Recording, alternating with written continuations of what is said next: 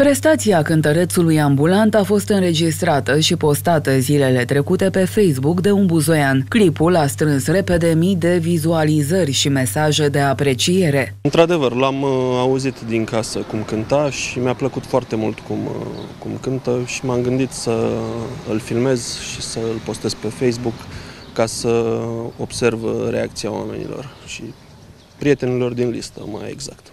Ce interpretați? Recunoscut melodia?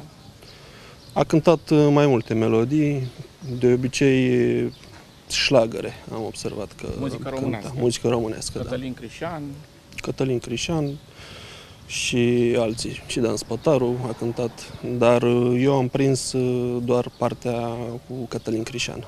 Cântărețul dintre blocuri folosește un microfon cablat într-o boxă enormă și are un playlist din câteva melodii românești care îți trezesc nostalgii. Chiar și cei aflați în trafic opresc pentru a-l asculta și pentru a-l recompensa pe trubadur. Într-adevăr, doamne, i-a plăcut foarte mult uh, cum a cântat și s-a gândit să îl motiveze, să-l motiveze printr-un gest simbolic.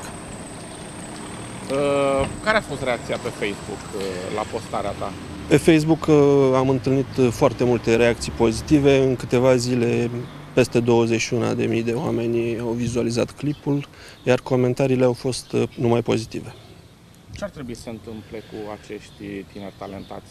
Consider că ar trebui promovat pentru că el practic uh, de-aia și cântă pe străzile orașului și pentru că nu are unde să se afirme și pentru un ban în plus. Nu este prima dată când buzoienii îl întâlnesc pe cântărețul care trage o boxă după el printre blocuri. Nu toți sunt însă de acord cu metoda lui de a face rost de bani. Da, da, da, da, dar mai ales sud-americani ăștia, mai ales de ăștia care sunt așa, da. Pentru că nu le e ușor să plece după acolo și trăiesc îndoielnic, trăiesc pe unde prin așa, da, m-aș opri, da. Pentru ce credeți că fac ei uh, treaba asta? Pentru a trăi. E un mod de, de viață, altceva nu știu să facă și nici nu vor Profită să de învețe. talent? Profită de talent, da, și nici, nici nu vor să învețe altceva, cum suntem și noi țara asta. Dacă ați întâlni un astfel de cântăreț, v-ați opri, i-ați da bani?